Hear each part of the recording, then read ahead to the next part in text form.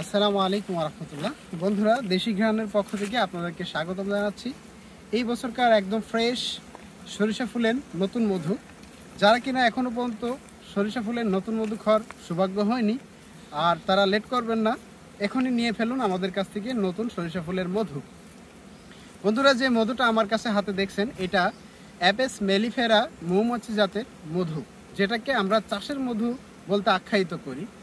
বন্ধুরা, চাষের মধু অনেকেই হয়তো জানার পর একটু নাক ছিটকে যে চাকের মধু তো চাষের মধুটা সাধারণত চিনি খায়। বন্ধুরা, এটা পুরোই কিন্তু ভুল ধারণা হ্যাঁ? চাষের মধুতে আসলে চিনি খাওয়ানো হয় না, আর চিনি খাওয়ায় কখনোই আপনাকে মধু দিবে না, এতটুকু মনে রাখবেন। কারণ দেখেন, যখন আমার সামনে কিনা ভালো নাস্তা বা ভালো খাবার থাকবে, কেন আমি একটা মানে নর্মাল খাবার খাব?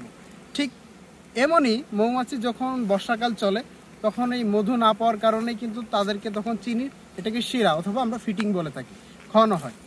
আর দ্বিতীয় হচ্ছে এই মধুটা কিন্তু একশো পার্সেন্ট জমে যাবে, এতটুকু মাথায় রাখবেন। এখন তো ডিসেম্বর চলছে, ডিসেম্বরের সময় কিন্তু সরিষা ফুল ছাড়া আদার্স কোনো ফুল থাকে না। এই জন্য কিন্তু সরিষা ফুল এর পরিমাণটাই বেশি। আর সরিষা ফুলের মধুতে গ্লুকোজের পরিমাণ এত বেশি যে মধুটা ন্যাচারালি যখন একটা টেম্পারেচারের মধ্যে আসে, ঠান্ডা পড়লে কিন্তু মধুটা জমে যাবে। আমার আশপাশে দেখতে পাচ্ছেন একদম পুরো চারিপাশ, আমরা যদি একটু ঘুরে দেখাই, চারিপাশটা কিন্তু সরিষা ফুল।